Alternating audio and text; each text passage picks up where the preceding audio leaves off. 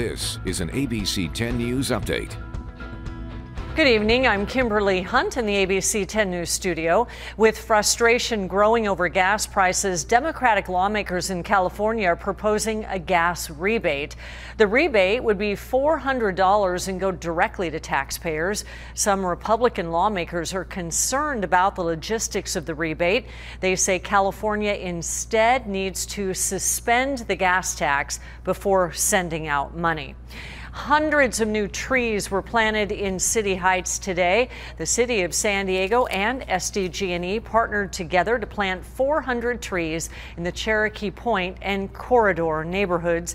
It's also near Edison Elementary. As the trees grow taller, they will provide shade for people going to school. The city will take care of watering and maintaining the trees.